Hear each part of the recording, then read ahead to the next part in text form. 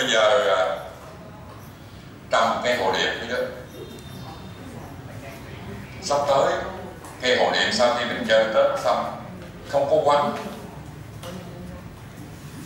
hoặc mấy đứa có thể ra những cái shop hoa mà nó bán không được. Nó tàn hoa rồi. Nó cắt bông nó bán rồi. Còn lại cái cây, ba bốn chục một chậu, cây trà bá luôn. Hồi còn bông thì còn loại một loại hai loại ba. Khi hết bông thì thằng nào cũng như thằng đó thôi. Thì mấy đứa mua cái đó về mấy đứa trồng. Ba tháng sau ra bông tiếp. Cho cây lớn đi mày ăn liền. Chứ bây giờ mấy đứa mua một cây bốt một trăm năm là tất nhiên là một tấc rưỡi một trăm năm một lá. Trồng một năm rưỡi mới ra bông. Và bao nhiêu? 25 tới 30 ngàn một cây. Cái chậu nhỏ xíu thì hãy mua cái đó thôi, để mình mua chai mua, mình ra mình sướng hơn đúng không? Còn mấy đứa muốn chơi, hoặc là muốn miệng miệng liền mình có. Bị cây hồ điệp cắt cành được, một bông từ 5 tới 6 ngàn. Điếm bông tính tiền. Số hoa rất cần những cái bông đó. Thì tại sao mình không tận dụng cái này một cái khoảng trống nào mấy được? Vừa chơi vừa kiếm tiền mua phân à, ở em để mình đến thì cái cây mà hồ điệp của thầy đem đây thì thầy mua nó là từ lúc này đây là cái lá của thầy làm thầy trồng cái này thầy giờ thầy mua cái này về lúc tháng 6 bữa nay tháng mấy rồi thì được bao nhiêu lá một hai ba bốn năm giờ sắp con lá nữa đâu có khó trồng mấy đó nè vẫn giữ cái tảo đó nè chưa ra chậu thôi mua cái chậu đó sao là y vậy thầy để y vậy đây nè rễ nó nè vẫn còn xanh ôm này lúc này phải ra nè bây giờ mình không ra bắt đầu là nó phải bây giờ nó nghẹn nó không đổ ra bắt buộc là nó phải ra để nhanh mấy đứa coi super canxi nè nè nè đừng nói gai nha rễ đó bây giờ nè nè đây nè nè thấy không nè mấy đứa đừng nói hồ điệp chỉ ra một nách một lần thôi nha đây nè của nó lần nó cắt rồi thì về thì cũng ra cái cành nữa đây nè nè một chỗ hay cành hoa nè thấy không nè một chỗ cái này của nó này cái này của thầy cắt không trước nè ở cành hoa của thầy bự hơn của nó à ừ. à, yeah đó, này nè nó ra một, giống như một cốc mà mấy đứa đừng có nắm rời này nha. Tưởng là con ốc của gì buông mà có rễ đó. Canxi thường thì nó không làm được cái này, nó chỉ kéo dài cái đấy thôi.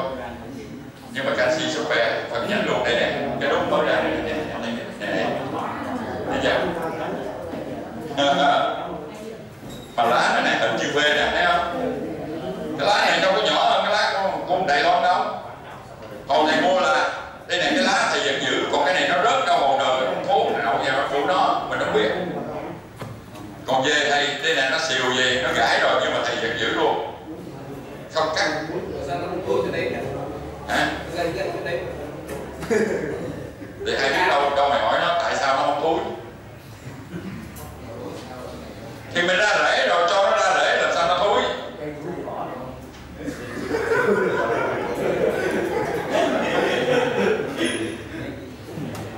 đó bây giờ u u là ra bông nữa nè nè u u nè ra bông nữa nè nè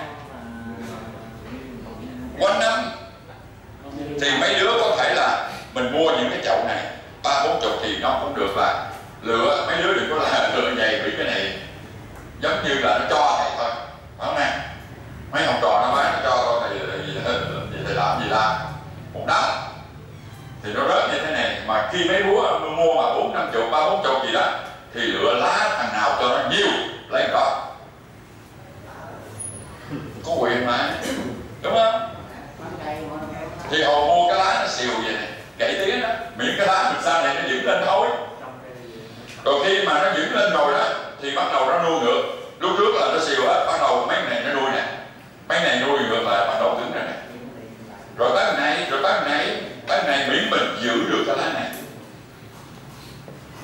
Và theo thầy thì mấy đứa chưa có kinh nghiệm á, thì khi mua về, đừng để vậy tóc ra gỡ cái ra, mình trồng một là do thông hai là do dừa.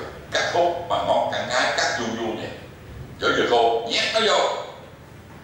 Rồi coi rễ nó quấn ở trong đó nhưng mà vẫn tưới bình thường.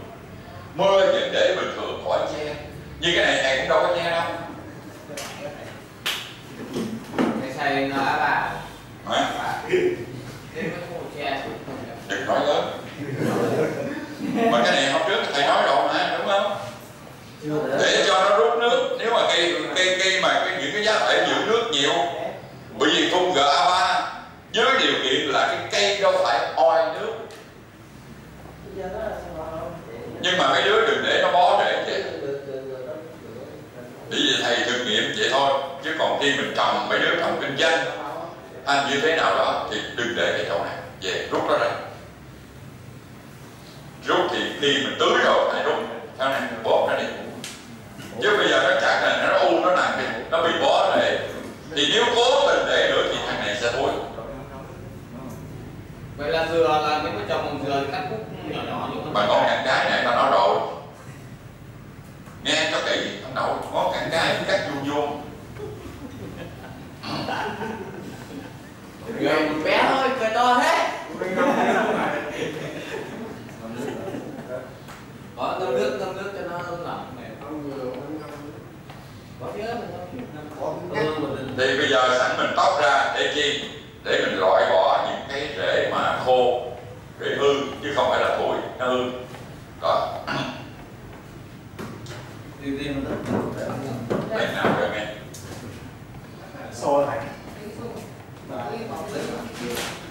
cái bà nó kẹp quá rồi đâu lấy cái lấy cái này đó cái đó đừng không cầm cầm thôi khi tưới xong rồi à, mình bắt đầu là mình tóc nó ra rồi thì bắt đầu bóp cho cái rễ nó bông ra khỏi cái cái tảo này đi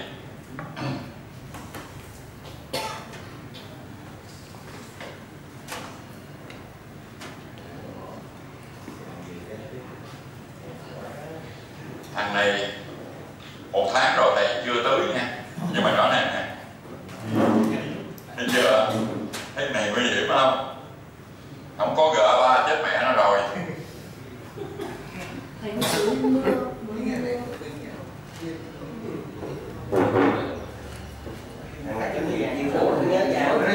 hỏi quá còn nó dừng lại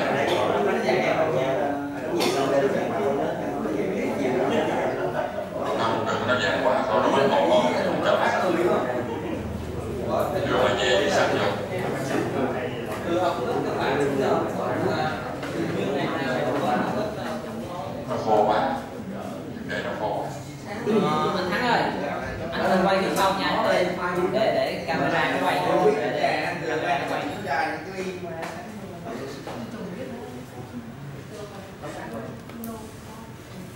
nhớ lôi ra trong ruột nha đừng có bóc ở ngoài rễ nó bao ở ngoài móc ruột nha hầu thì tự chơi móc ruột thôi rồi móc đây nào cầm nó móc đây có Cầm kinh vào nghiệm đây. không ông đâu có kinh nghiệm ông báo người ta nói người ta sẽ thấy nhau của thầy nếu như mà mình nước cá mà mình cho cả ba thì nó có không được này đưa cái rửa ba cho nó hút phát nước cái gì? Ba nước. Uống cái nước sao uống hết nước hồ luôn cái gì? Giống như kiểu đau bụng mà cho uống nhân sâm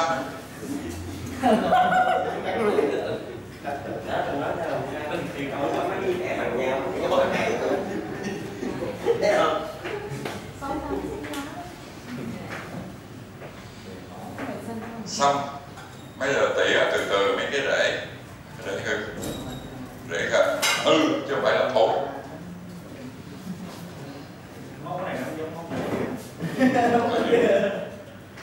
kia có năm ngày mấy con tay móc cái kia là móc cái gì vậy được rồi.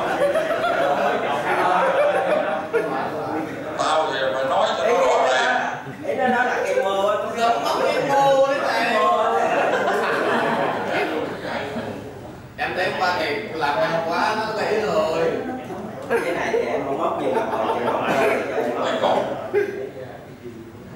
Lấy son chi là nó tiêu cái này Con này nó đâu có giá trị gì đâu Chừng nào cây hồ điệp này lá sọc hay là lá đột biến Thì mình lấy cái con của nó.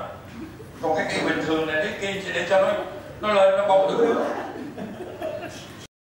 Mình cho ra con ở đây thành này được Rồi thằng này sẽ từ từ úa lá rổ rớt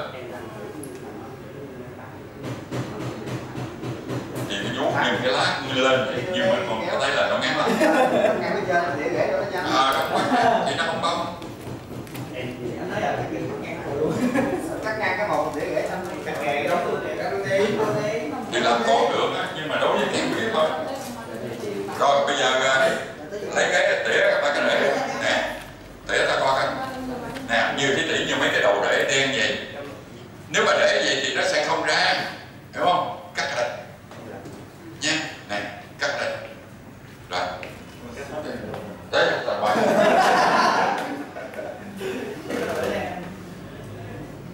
để cộng lại đúng rồi Ồ, ok nè đó, nè cái cắt lốp nè ừ cắt đây để ta coi ta được không mấy nào thúi thúi đen đen tỉa chừa cái nắng lại đây nè như này nè coi chừng cắt lộn Nè. này thắng á cắt ở đây nè nó đen rồi nè rồi bước đó À, cắt ra mà cây chảy máu nè cắt có lo mày ở tiếp hồi đuổi đuổi con lại cái đồ đen cắt mà. Cái đồ đen cắt cái này đồ đen cắt. Đúng rồi em là các phụ nữ thầy thấy cái cách đây mà anh cắt sâu thế thì kệ nó nó ra máu nè cái này. Là rồi nè đen rồi nè nhiều rễ mà nó chị những chỗ nào mà mày gãi á, cắt luôn cho cách này cái thôi đó tiếp nhé mình cắt nó mới ra không cắt nó không ra chứ để nó đâu có để nó không ra cắt cái bóng nó có hừ nhau á tôi kéo rồi đó đó giống như mình đi hớt ốc cạo rau nhớ nghe cái kim loại là kích thích luôn ấy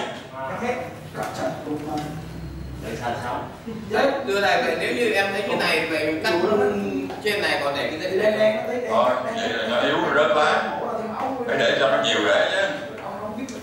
Chứ rễ nó còn thì anh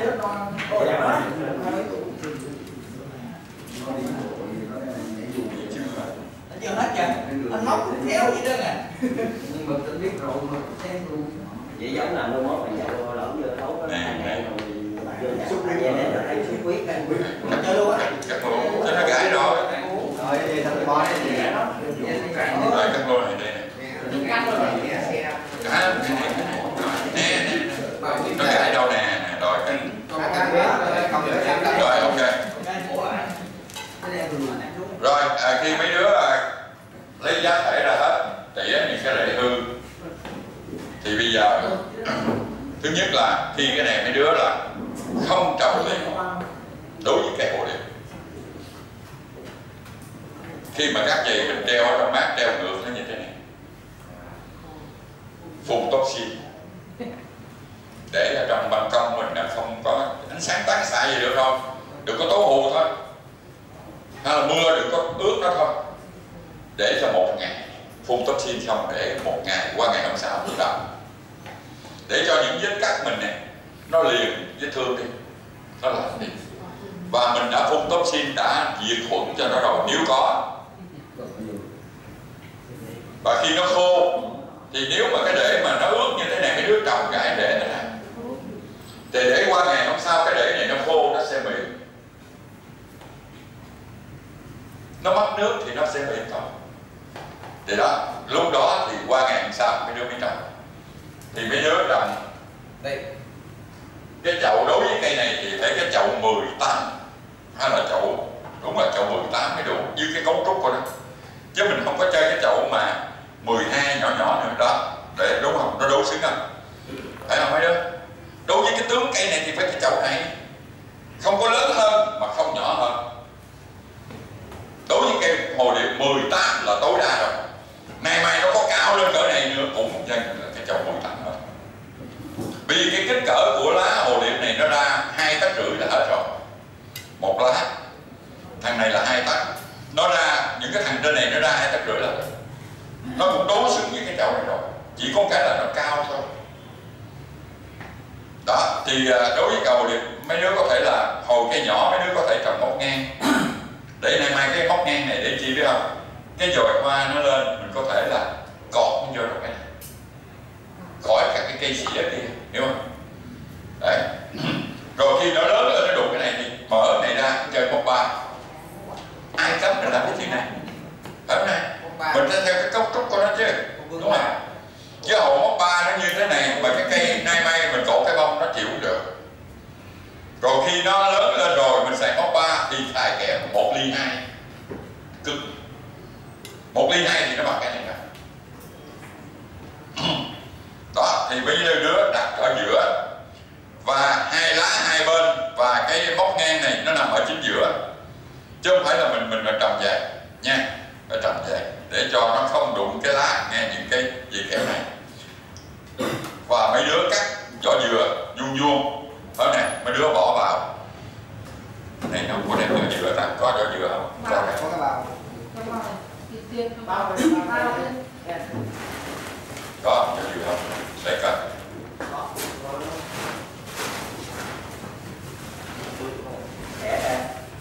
không đúng rồi đúng rồi vỏ dừa này là một bữa hôm sau thì kém mà. Mình bây giờ mình trồng vô cái mình mình lặn mình về rễ chứ mình đừng có dắt đùa.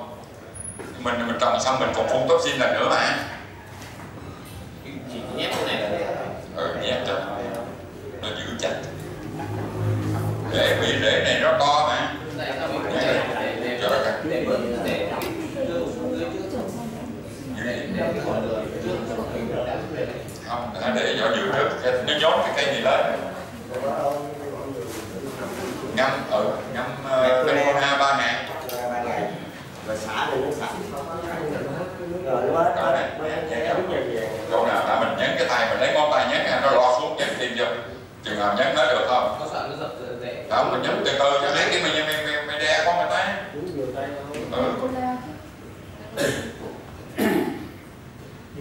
ngầu này không có trồng mà nó làm có đẹp không nó làm có dịu dàng Nó giống như cái cái ờ, cái hồ điệp này giống như phụ nữ vậy Nó làm vậy mềm mẻo này hôm nay chắc nó là màu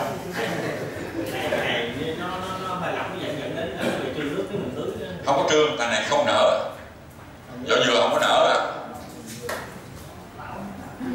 nó có sơ mà. Chừng nào ốp dưa nở nếu mày không nén chặt, còn vỏ dừa ở đâu nó nằm y lên. Mình đừng lỏng quá thôi. Đó không nhắm vậy. Thì những cái lỗ hở để cho không rễ này không chui vì thằng này để lớn nhớ đi không phải để chỉ đúng không? Rồi khi mà làm vậy là sẵn như thế này nè. Đừng có để mấy cái để mà ló về sẵn gì cho nó vô luôn. Làm sao, nó làm với thôi này không có lỗi không bởi vì khi mình trồng rồi phải phun tốt xin lần nữa. Mình làm cái gì làm nó cũng phải trầy rủa, gãi rễ này nọ. Làm gì cũng có dầu nhẹ cơ nào. Phải phun nha phun xong mấy ngày nữa ừ. phun xong để khô một ngày nữa. Qua ngày hôm sau đem ra tưới bằng cái rễ luôn. Đấy. Thôi thầy đặt trai con phải đi để ngồi thi ta coi bài thi ra sao ta mới tặng chứ giờ tặng cái hơi nào điểm cao? Cái này hoa cái ờ, bông ờ, màu mà hồng cánh sen mà nó to như thế này. Cái bông nó lớn hơn thế này. Hồi thầy lấy nó nó còn hoa này bự lắm á. Nó giống như cây trắng kia cây trắng kia không không xi nhé. Nó bự hơn không đổ rất nhiều. Hồng cánh sen lưỡi đỏ nó hình móc câu vậy, đỏ chét cánh trong cánh màu hồng to như thế này. Cái bông nó rớt mà nghe cái bịch, nó tính đi, nó bự rồi. Đó ờ, nói vậy thôi chứ khỏi thả ở nó lớn sao đây bẻ cái rồi xúc tay rớt ngay cái bịch đó, giống như mà ổi mà mít thành đã rụng vậy ở ờ, thì tính coi cái bự cỡ nào. Vậy là nếu mà mình cho GA3 là nó sẽ bông nó sẽ bự là nó làm sao không thì cái ba là để cho nó khỏi thúi rễ không thầy cho tại vì nó nhân bào mà theo thầy nói thì GA3 nó sẽ nhân bào. Thì nó nhân vào cấu trúc chứ nó không nhân vào bông. Bông là vật liệu của cái thằng lân mà ta đi làm G3 không dính dáng gì cho anh thầy cho con hỏi có một số anh em chơi lan lâu rồi mà chẳng hạn như anh Linh là đó lòng mà ảnh ờ, muốn là thầy chỉ cho một hai cái kinh nghiệm mà khi mà cái cái cây hoa á, nhìn rễ nhìn lá có thể nói bông được không thầy? Có thể thầy biết thầy chia sẻ giùm tụi con mấy anh em đúng rất cần đó thầy. Đối với cây hồ điệp này thì không quan sát cái cái màu sắc tố của lá được mà, sắc tố rễ như cái cây này là bông màu nào? Có cái rễ ra. Nè, màu nâu nhạt nhưng nếu cái màu nâu đậm mà ở ngoài đầu rễ này, nó có cái màu đen lại bị biến đậm biến đỏ. Nếu cái rễ này nó có màu vàng mà ở trên nó phớt nâu hay phớt tím than, là cái bông đó màu đỏ còn cái rễ nào màu trắng mà nó có ánh vàng ra nắng, nó có ánh vàng lên bông đó màu vàng còn cái rễ màu xanh xanh ngọc, không có đầu đen gì hết, thì nó còn màu trắng. Còn rễ màu xanh ngọc, nó có cái đầu đen ở ngoài, trắng lửa đỏ thì nghĩ từ gì đó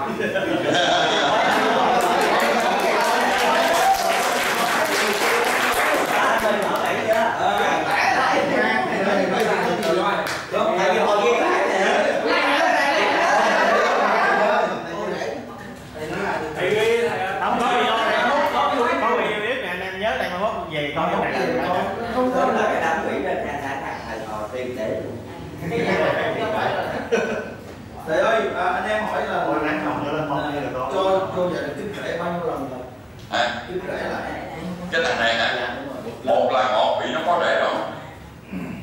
Nó có rễ rồi. Bây giờ cho nó phân nhánh ra không cho nó ra cái đầu rễ mới thôi vì những cái chỗ mà mình cắt á chứ không cần phải nhiều lần. Khi nào thằng này nó trụi lũi đó thì mình phải làm nhiều lần.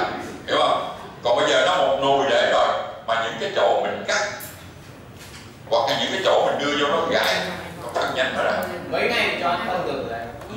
khi nào nó ra rễ mới? Khi nào nó ra rễ mới? Và mình thấy cái ngọn ở trên này hoặc là cái lá này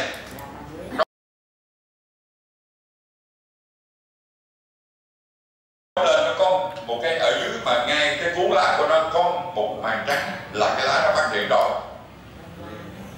Lúc đó cho này tất nhiên là khi lúc mình kích rễ một tuần sau à, 10 ngày hãy cho anh đi chẳng hạn. Vì nhiều khi có nhiều cây nó ra rễ bên trong mấy đứa không thấy. Hiểu không? Chỉ thấy nó ra bên ngoài nhưng mà nhiều cây thì phần đông cái rễ mình chôn xuống nhà thằng nào nó ra vậy thì mình thấy nè. Nhưng có nhiều khi nó ở ngoài này nó bị tác động cái gì đó nó không ra mà nó ra bên trong á khi mình lôi nó lên thì mình mới thấy. Thành thử ra thôi một tuần sau cho anh đi chẳng hạn tại con thấy nó ra mấy cái rễ trên đấy thì mình cũng cho ăn thường. Ừ thì còn nếu mà ba ngày thấy nó ra vậy mình cho không cho không như như như cái cây của thầy như này là nó đã đã ra mấy cái đây rồi này như này. Nhưng mà giờ thì nó ra để rồi đồng ý. Nhưng mà giờ mày đưa nó vô giá thể mới mày dừng giá thể cũ. Còn một số rễ cắt một số rễ mình nhấn vô nó gãy thì để cho những cái rễ đó nó lành dễ thương đi chứ bây giờ mình đưa phân vô sớm quá thối hiểu không thầy là coi như là mình vừa vô ờ, hữu cơ vô cơ cho nó vừa bền mà nó vừa lâu nữa đó thầy rồi lâu lâu con con con xịt ra phân ờ, phân ờ, phân cá phân phân sữa thái sữa mà xịt ra đặng giữ lá ra đẹp được ạ? đúng rồi Sức tái thì bông Được nha. nhưng mà cái thằng này của đệ nay mai thì rồi. đối với cái thằng hồ điệp này thì nó chịu cái dưới thằng Bocara nhất là nó chịu cái phần hữu cơ nhưng mà thực chất chứ không phải là làm giàu con dầu con dầu bánh dầu hay là những cái phần zumba. Phần zumba.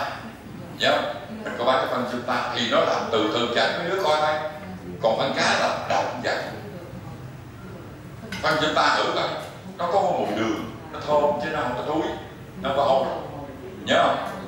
Hoặc là hai cái chai xì sò, một chai bao perfect một cái xì sò, dùng xì sò không rong biển chai xì xồ là chai rong biển. Còn chai bao perfect là cá. Bởi vì hai chai mình cặp lại nó vừa có đậm vật vừa có thượng vật hôm trước thầy có nói rồi đúng không? Thì năm nay mấy đứa sử dụng cái đó. Nếu cái giường mình đã có côn trùng hay là giường mình gần những cái trại chăn nuôi thì đừng có dùng cái phân cá phú hạt. Chết thì mình dùng cái bao perfect này mình tưới xong không có mùi gì hết bạn nhớ cái bao perfect nó đặc biệt hơn là cái ông nội cá phú hào làm cá tạ tùm lum. Còn cái thằng bao perfect là làm từ cá hồi. Đó. Cá hồi mỡ chất béo nó nhiều. Nó tạo tinh bột cho cây mình rất nhiều. Kết hợp cái này nếu mà dùng mình dùng cái phân cá mà mình làm từ cái men đó thì mình thay cho mấy cái phân cá phú hào đó. chứ thì mình cũng cần phải xài cái phú hào ở con mình chắc là thì nếu mà mình ở đô thị mình mấy cái đó nó hôi mình không sang mình sang nhà ta. Bao bao phép còn mình ở đồng công mênh mông, nó đồng ruộng, hay là ngoại ô này nọ chơi phải ráng. Nhưng mà thằng này thì đừng có phun cái hồ lắm thằng này nó mặc cảm cái thằng đó thì ờ, phun cành rô này phun cái ra đâu ok.